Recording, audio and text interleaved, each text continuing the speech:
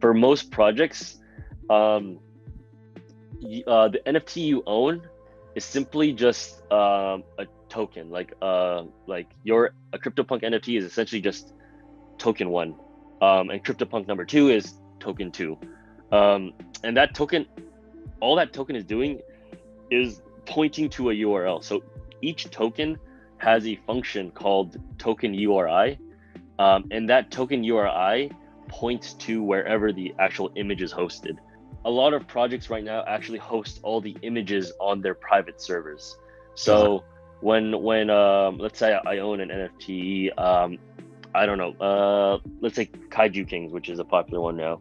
Um, if I go and I own Kaiju King uh, or Kaiju number 33, um, I just own token 33.